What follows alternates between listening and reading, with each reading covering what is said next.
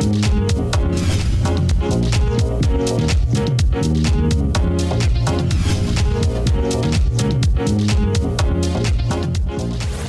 cảm ơn quý vị đã trở lại với chương trình Gia đình học đường cùng với uh, Catherine, anh John, Nguyễn và Hoàng Vi đang bàn về vấn đề là uh, làm thế nào để nói với con hay là để giải quyết khi mà con uh, đang bước vào cái lứa tuổi tò mò về giới tính, về tình dục thì uh, hồi nãy chúng ta có bàn đó có một số những cái sai lầm hay là một số cái ngộ nhận của cha mẹ cứng quá siết quá thì con nó cũng tự tìm hiểu mà buông quá thì con nó cũng thoải mái nó nó nó lạc vào con nó lạc khác. lối Ừ. nó lạc lối vậy thì bây giờ mình sẽ phải làm sao đây cụ thể nha cụ thể mình trở lại với những cái vấn đề hồi nãy mình hỏi Ờ, khi con bé nó bước vào tuổi thứ 11, 12, 13 Ừ.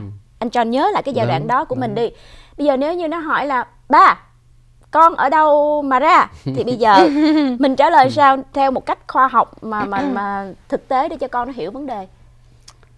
À, anh nhớ là anh đã trả lời với lại con anh cái này rồi và thường tại hai đứa nó nó chạc tuổi nhau cách nhau có hai năm hai năm rưỡi thì bữa cơm gia đình là cái cái cái cái lúc mà rất là thích hợp để nói nói chuyện. Sao ăn xong nghe, ngồi ăn ch- chơi nghe, mới nói nói chuyện với con à, nhiều khi con nó đặt câu hỏi không sẽ không trả lời nó liền. Nhưng mà đợi cái lúc thuận tiện là khi ba bố con ngồi mình giải thích lúc đó nó sẽ đầm xuống và nó sẽ nghe. Thì lúc đó mình giải- thích cho nó nghe là à, tại như vậy như vậy. Mới lại cái cái mà học được á là sẽ hỏi con tại sao con biết cái đó và ở đâu con nghe được cái đó. Thì nó sẽ kể cho mình nghe là ở trường học á dạ. nói là à, à, có à, tinh trùng từ bố mẹ từ bố đi qua mẹ và tạo à, thành cái phôi thai rồi nó tạo Dạ. ra như mà vậy thật ra là đó. con nó cũng sẽ được học ở trường. Nó đã học Dạ, rồi thành ra nó có vấn đề hỏi. là nhiều khi con nó chưa có đến cái tuổi đó mà nó nghe bạn bè ví dụ Ừ. như con bé ờ, mới tuần vừa rồi đây chứ đâu Rin và anh John. Con bé nó về nó hỏi một câu mà nói thiệt là mình cũng hơi ngã ngửa ra luôn.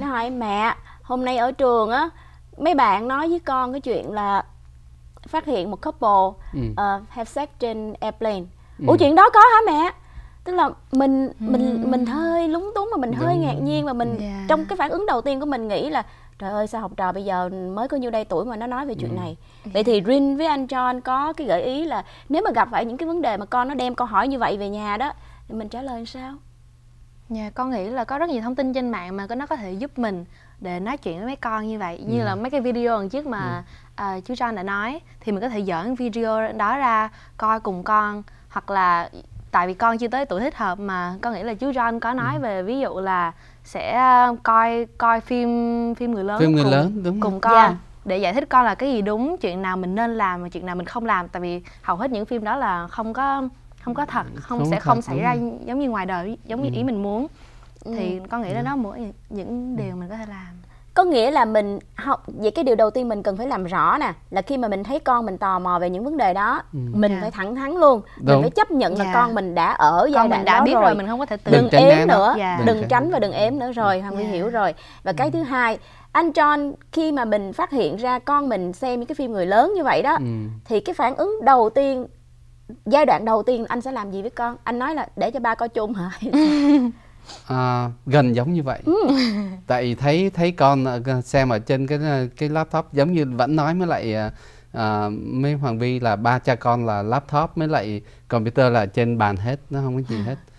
Ra khi khi mà vô tình thấy con như vậy á tại ờ, mình hồi xưa mình cũng nói dối cha mẹ thành ra mình biết được cái cách nói dối của con nó sẽ bắt đầu từ đâu. Dạ. thành ra thấy con đang ngồi như vậy tự nhiên cái mặt nó có vẻ căng thẳng và cái còn cái laptop á, thay vì nó để ra ngoài thì nó để hơi xéo xéo. Xoay- ok. Vậy ba mẹ cũng phần nào hiểu Đó, là hiểu mình cũng được. đã trải qua giai đoạn đó. Đó thì Và khi là- khi khi mà thấy như vậy á thì nó em nó úp cái laptop xuống. Nó nói con con làm vậy sẽ hư cái laptop đừng bao giờ làm vậy. Con xem gì con cứ mở xem bố xem cùng với con. Ừ. Nga nó trợn mắt lên nó nhìn.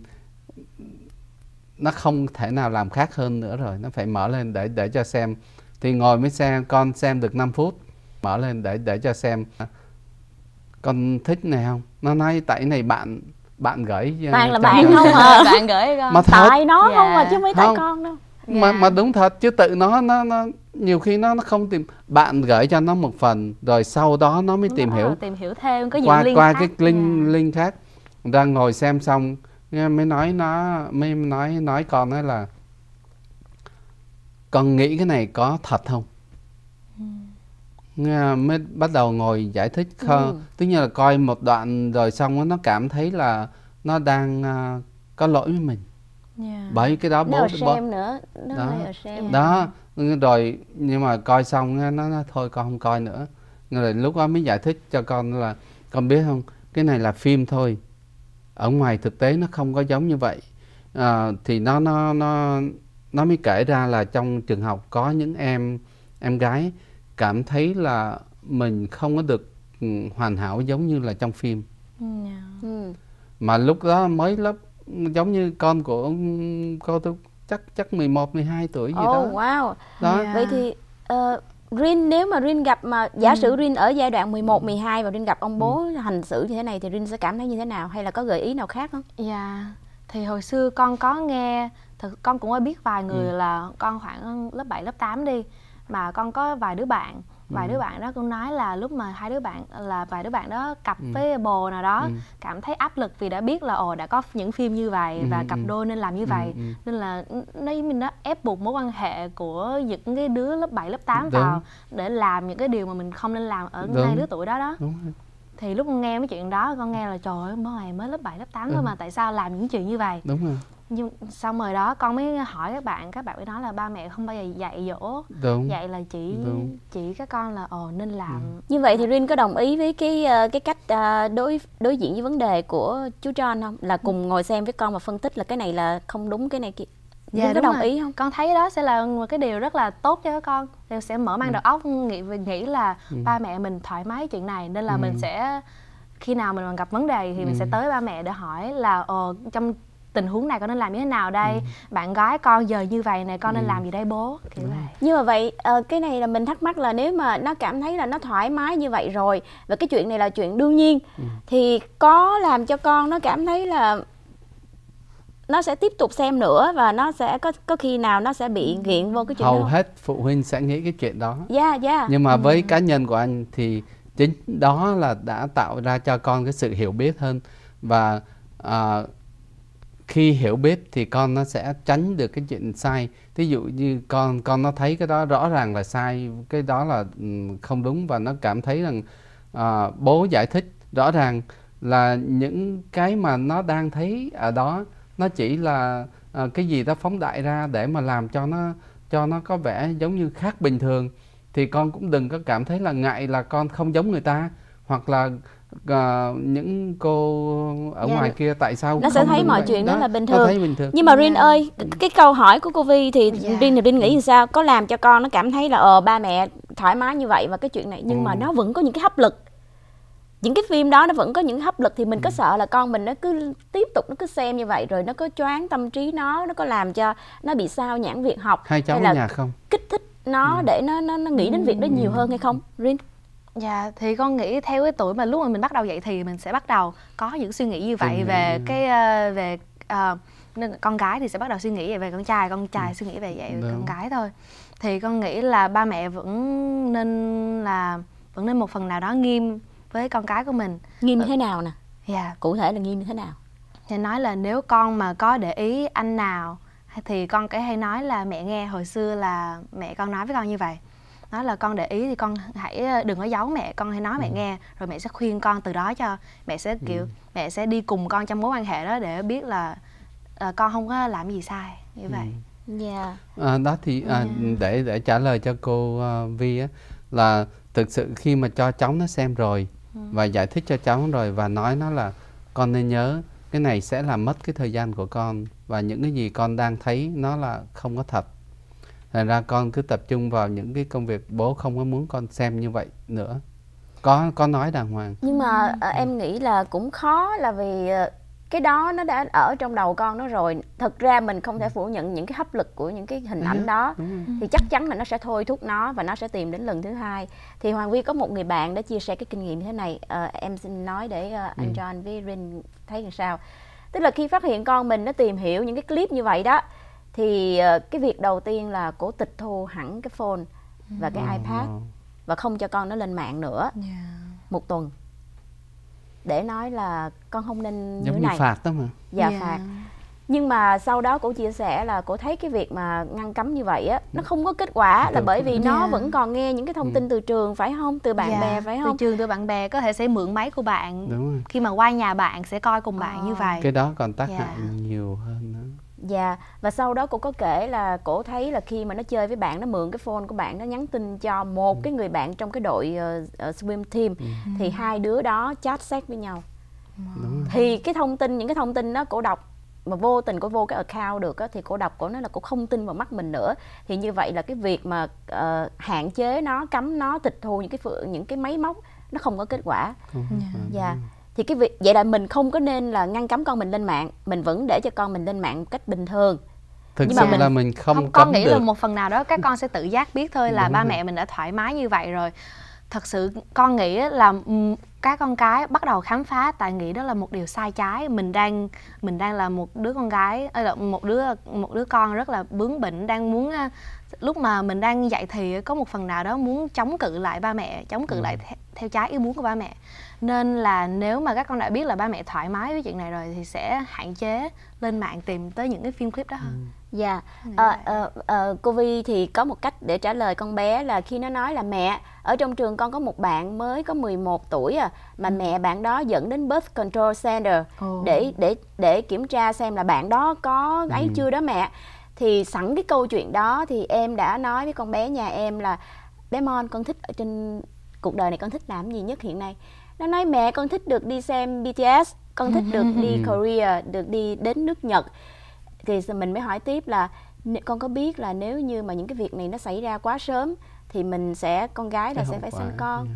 Rồi Dạ. con sẽ không có một cái tương lai lúc đó con Sẽ chẳng biết travel là cái gì mình. luôn Đúng rồi. con chỉ có thay tả và con chỉ có chăm con thôi Đúng thì cuộc đời nó sẽ end up như thế nào có nghĩa là mình vẽ ra cái bức tranh để Đúng cho rồi. con nó thấy nhưng mà liệu cái đó nó có tác dụng gì không Ồ, tác dụng nhiều lắm Dạ. cô dạ tác Dạ. dụng nhiều lắm chứ Dạ. Như- anh à, chú nghĩ đó à, chú nghĩ tại chú không có con gái Dạ. nhưng mà chú nghĩ cái cái gì mình đưa ra cho con cái cảnh thật và những cái à, những cái bài học trường đời mà đang có đó nó ảnh hưởng rất nhiều đến đến cái sinh hoạt của của tụi con Dạ. tại nếu mà bố mẹ chỉ đưa ra những cái à, những cái à, model mà mà hay quá đó thì con nó sẽ không nghĩ cái chuyện nó làm sẽ đưa đến hậu quả như thế nào Dạ. đó thành ra cứ cứ cho nó thấy những cái gì thực tế Dạ. Nhưng mà là Rin nè, Rin là một cái người trẻ vừa trải qua cái giai đoạn đó một thời gian nè thì Rin nghĩ là nói cái gì với con là hiệu quả nhất đây. Thứ nhất là không cấm con lên mạng rồi, vẫn để cho con như vậy rồi nhưng mà nói cái gì với nó khi mà nó bắt đầu nó cứ tìm hiểu về bạn trai, bạn gái rồi Dạ. thì theo Rin thì cái cái cái kiểu hành xử của cha mẹ nào thì sẽ có FV đối với mình.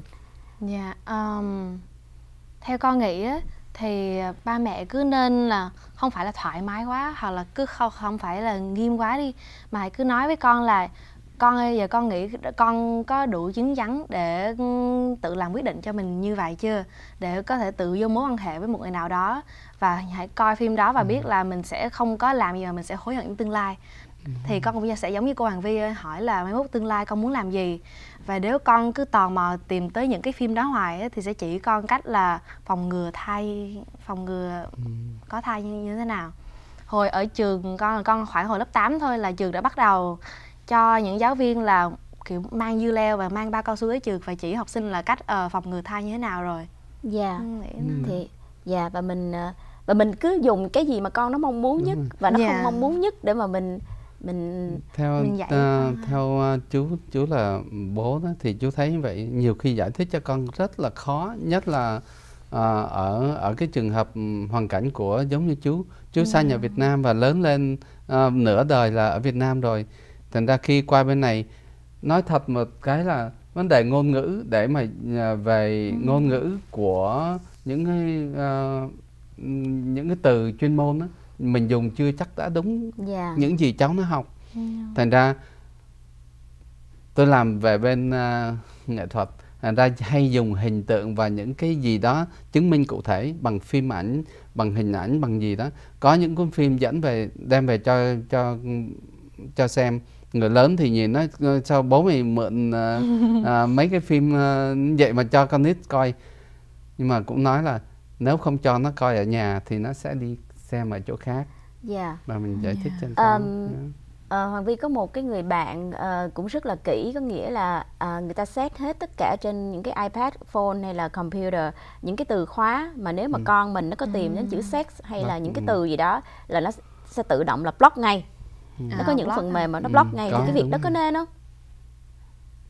theo con sao theo con nghĩ á, thì hồi nãy con cũng nói rồi những cái máy đó là những máy ở nhà thôi. Mình Đúng. có mấy cái ba mấy cái máy đó thôi nhưng mà ờ, các bạn là các con cũng sẽ có thể tìm tới được những cái máy của bạn bè sẽ luôn có hỏi là ờ cho cho ta mượn máy của mày được không?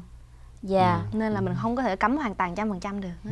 Dạ nói chung như vậy thì mình vẫn phải thứ nhất là mắt nhắm mắt mở. Đúng. Dạ. nhưng mà mình phải nói chuyện với con nhiều hơn đúng không? Và ờ, nhiều khi là chỉ một cuộc nói chuyện thì nó cũng không thể giải quyết được mà phải là nhiều cuộc Một- nói chuyện đúng trở rồi, đi trở lại gian. Dạ, đúng rồi. dạ và suy cho cùng thì những cái vấn đề mà ngay từ đầu mà ờ, anh em mình hay nói đó anh John là cái cái cái cái giao tiếp với con và Đúng cái rồi. xây dựng mối quan hệ và đặt những cái viên gạch nền tảng mối quan hệ với con cái cái mà anh thấy em phải mừng là con em về nó nói cho em cái chuyện mà cháu Dạ, nó cháu rồi. nói cái đó Dạ. là anh thấy em đã dạ. làm tốt rồi Ờ, em ờ, em tại- vì sao hôm nay mình nói chủ đề này là vì vừa rồi là em cũng nhận được những câu hỏi của bạn bè em cùng Ừ. cái lứa tuổi của mình và em cũng trải qua cái giai đoạn đó thì nói thật cái hôm đó là mình mình sốc lắm. Em em lúng túng mà em phải nói thật là em phải hít sâu vô để em đối diện. Đúng rồi. Mình nó hỏi mẹ mẹ buồn lắm phải không? Mẹ nói với con là mẹ buồn đi.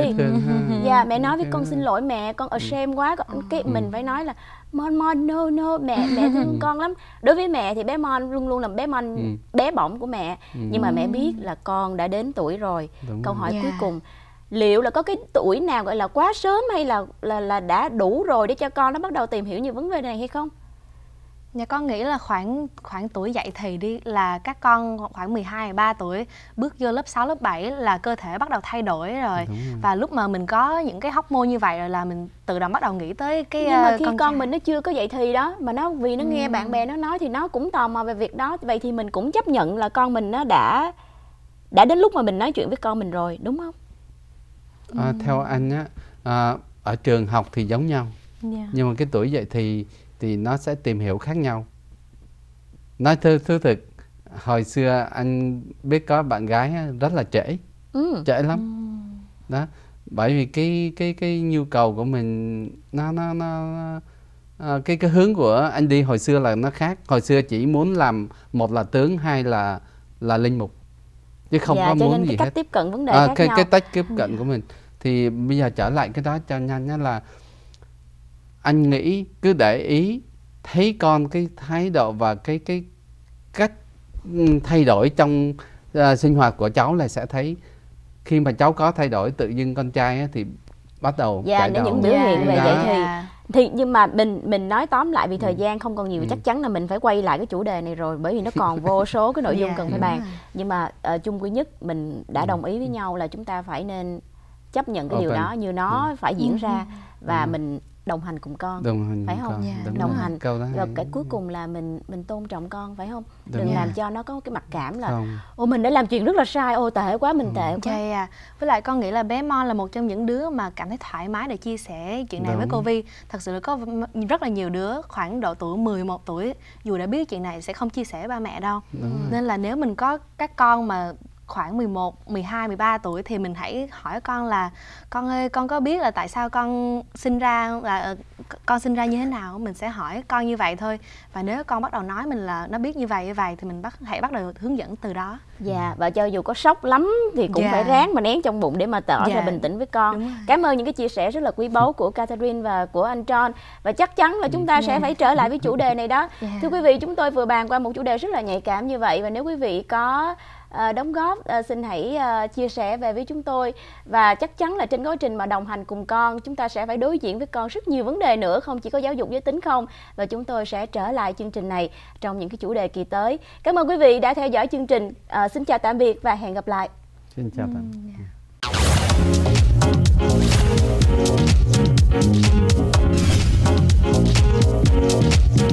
yeah.